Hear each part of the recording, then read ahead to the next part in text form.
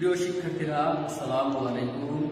আমি মোহাম্মদ শামসুদ্দিন প্রবাসন হিসাব বিজ্ঞান বিভাগ চট্টগ্রাম সরকারি কলেজ চট্টগ্রাম ভোলা আশা করি সবাই ভালো আছো, সুস্থ আছো স্বাস্থ্যবিধি মেনে চলবে আশা করি। অনলাইন ক্লাসের মাধ্যমে আজকে আমি তোমাদের অনার্স দ্বিতীয় বর্ষের ইন্টারমিডিয়েট অ্যাকাউন্টিং থেকে প্লান্ট সম্পদ, ব্যবসায়ী সম্পদ নিয়ে আলোচনা করব। প্লান্ট সম্পদ। প্লান্ট সম্পদ। কি নিয়ে আলোচনা করব? প্লান্ট সম্পদ। প্লান্ট সম্পদ বলতে আমরা কি বুঝি? যে সকল সম্পত্তির বাস্তব অস্তিত্ব, সুনির্দিষ্ট আকার ও আকৃতি আছে ও ব্যবসায় কার্যক্রমে ব্যবহৃত হয় এবং খরিদ্দারদের নিকট বিক্রয়ের উদ্দেশ্য বা অভিপ্রায় থাকে না। তাকে প্লান্ট সম্পদ বা স্থায়ী সম্পদ বলা হয়। অন্যভাবে বলা যায়, প্রতিষ্ঠানের ব্যবসায়ী কার্যক্রম পরিচালনার মাধ্যমে মুনাফা অর্জনের লক্ষ্যে দীর্ঘকাল ধরে ব্যবহার করার জন্য যে স্পর্শনীয় সম্পদ অর্জন করা হয় তাকে প্লান্ট সম্পদ বা স্থায়ী সম্পদ বলা হয়। প্লান্ট সম্পদ বা স্থায়ী সম্পদ হল ভূমি, দালান কোটা এবং অফিস সরঞ্জাম। সম্পত্তি বলতে আমরা জানলাম যে সকল সম্পত্তির বাস্তব অস্তিত্ব, সুনির্দিষ্ট আকার ও আকৃতি আছে যা ব্যবসা কার্যক্রমে ব্যবহৃত হয় এবং খরিদ্দারের নিকট বিক্রয়ের উদ্দেশ্যে বা কোনো অভিহিত থাকে না। তাকে প্লান সম্পত্তি বলা হয়। অন্যভাবে বলা যায়, প্রতিষ্ঠানের ব্যবসায়ী কার্যক্রম পরিচালনার মাধ্যমে মুনাফা অর্জনের লক্ষ্যে দীর্ঘকাল ধরে ব্যবহারের জন্য যে স্পর্শনীয় সম্পত্তি অর্জন করা হয়, তাকে প্লান্ট সম্পদ বা স্থায়ী সম্পদ বলে। প্লান্ট সম্পদ বা স্থায়ী সম্পদ হল ভূমি দালান কোটা এবং অফিস সরঞ্জাম। আমরা এখন প্লান্ট সম্পত্তির কয়েকটি বৈশিষ্ট্য আছে, সেগুলো জানব। প্লান্ট সম্পত্তির বৈশিষ্ট্য।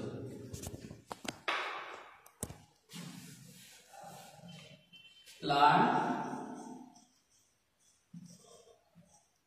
সম্পত্তির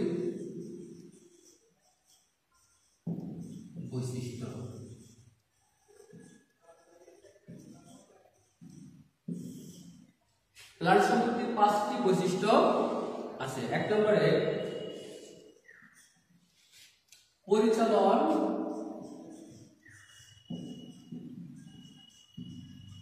পরিচালন কার্যক্রমে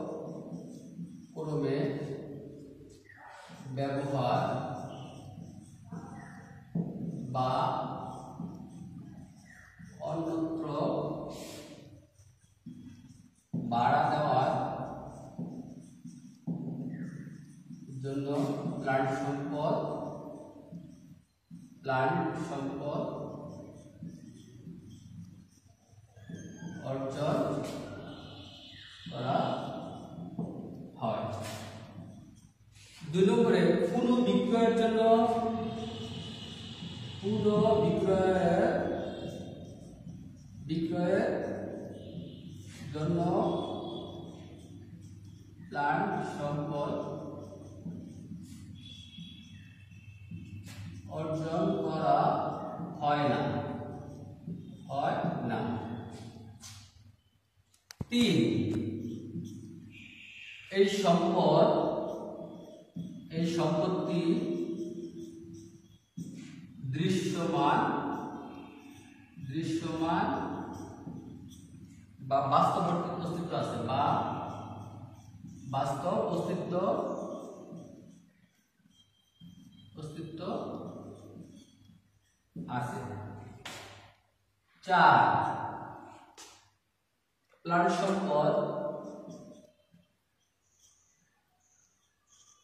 প্লান্ট সম্পদ। বহুদিন।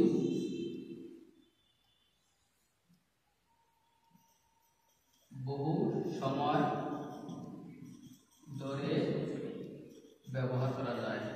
ব্যবহার করা হয়।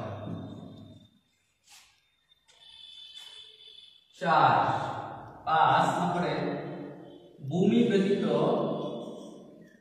ভূমি ব্যতীত অন্যান্য প্লান সম্পত্তির ব্যবহার উপযোগিতা। ব্যবহার উপযোগিতা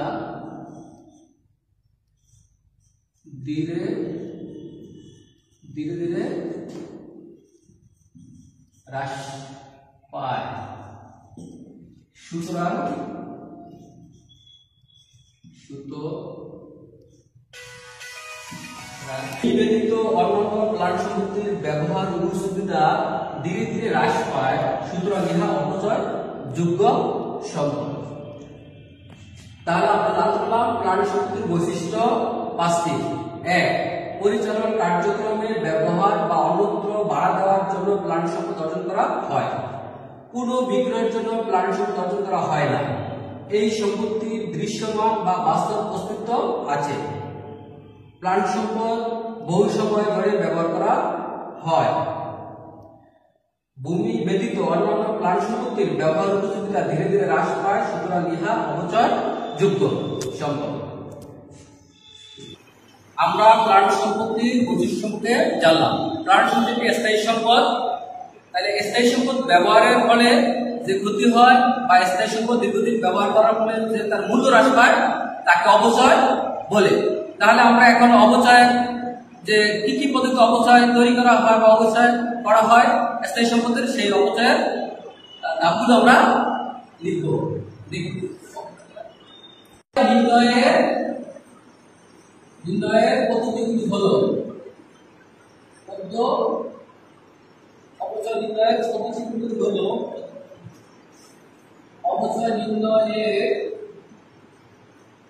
পদ্ধতি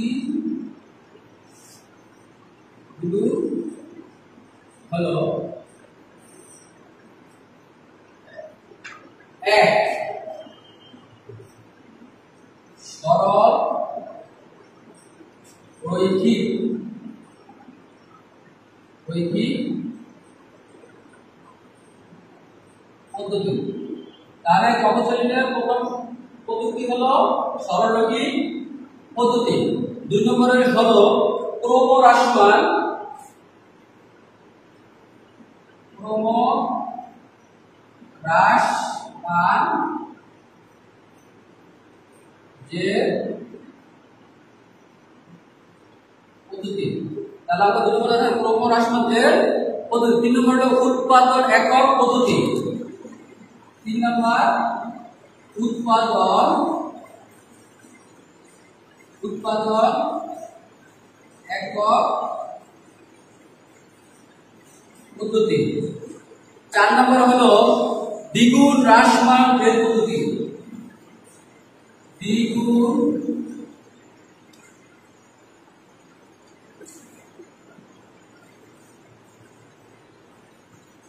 দ্বিগুণ হ্রাসমান